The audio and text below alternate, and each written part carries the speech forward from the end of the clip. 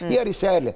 هذه الرسالة ينبغي أن تفهم على إن إحنا بنضع مصر في موضعها الصحيح وفي مكانها الصحيح ونجعل مصر القامة والقيمة في وضعها الذي ينبغي أن توضع فيه. مصر موجودة قبل أمريكا وقبل العالم ده كله. مصر تاريخها بيحكي سبعة آلاف سنة. كانت مصر سابقة. للدنيا كلها والعالم كله. مصر دولة صاحبة حضارة مبهرة للعالم كله من جميع آه، أنحائه بيأتي يشوف عظمة المصريين القدماء. ما يجيش بقى حد أيا كان هذا الحد وأيا كان مكانه يذل مصر أو يتحكم في مصر أو يقول إحنا هنعمل لمصر أو مش هنعمل لمصر. لا مصر تقدر وتستطيع وهي قوية بشعبها بأناسها. بأهلها بشبابها وشيوخها ورجالها بجيشها وشرطتها تستطيع أن تفعل المستحيل ولا تمد أيديها لكم وتستغني عنكم تماما. ده فحوى الرسالة اللي قالها الشيخ حسان وأنا معه في كل هذا لأن مصر ما ينبغيش أمريكا تشتغل علينا بقى خد المعونة لا إدوا المعونة لا قطعوا المعونة لا ما تقطعوش المعونة. هذه مسألة لا هي يصح هي ولا أبدا. محترمة وقيمة ونحن نحترم الرسالة نعم. ال- الضمنية والمتضمنة فيها نعم لكن في سؤال تاني برضو هل أيوة. الزكاة تنفع ولا ما آه، تنفعش هل أنا تنفع هرد للزكاة؟ عليه هل آه، لا.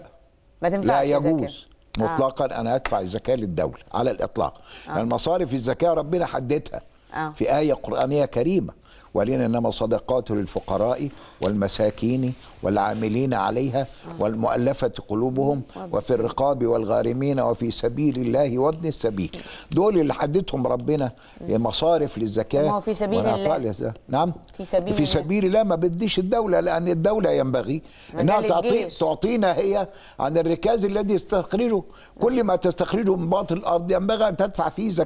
ال- البترول والمعادن آه. كلها الذهب والفضة آه، في آه. زكاة عندنا اسمها زكاة الركاز أيوة. وده 20% أيوة. ينبغي أن تدفع. فزكواتنا إذا كنا نريد أن نعين الدولة أو نساعد الدولة أو نقف بجوار الدولة بنعمل مؤسسة خاصة للزكاة. هذه المؤسسة أهلية من أمناء. هؤلاء الأمناء يجمعون أموال الزكاة وهي في مصر كثيرة.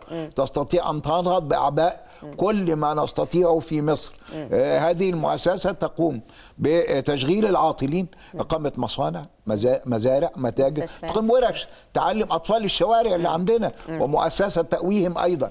ثم تزوج العوانس ثم أيضا تقوم ببناء مساكن لمن لا يجدون مساكن لو طيب. لو استطعنا هذا إحنا عندنا زكاة مفرقة كل واحد بيطلع زكاته حسب ما يرى.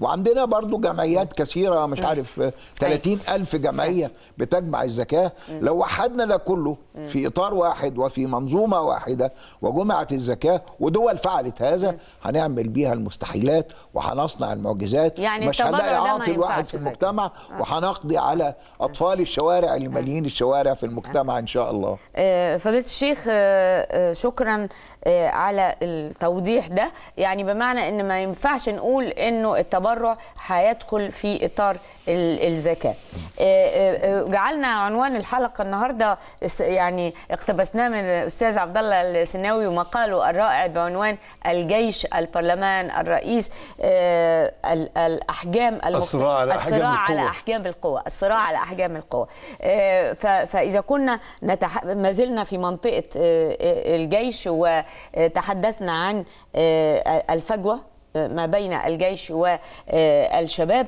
آه، لابد أن نسأل هنا عن فكرة صراع الأجيال. يعني آه، آه، النهارده كام؟ 21 فبراير. فبراير يوم الطالب العالمي. ال- العالمي وكل سنة وجميع الطلبة. بصي. أنا فرحت قوي إني خلصت مدرسة على فكرة. يعني يوم ما خلصت.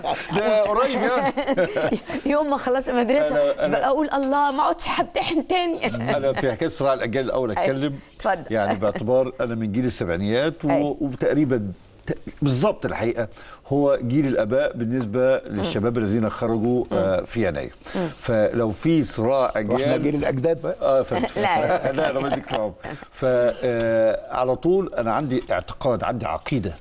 أنا مستسلم. يعني أنا بعتقد إن دور الآباء أن يستسلموا لحركة آه، التاريخ وإذا كان هناك خلاف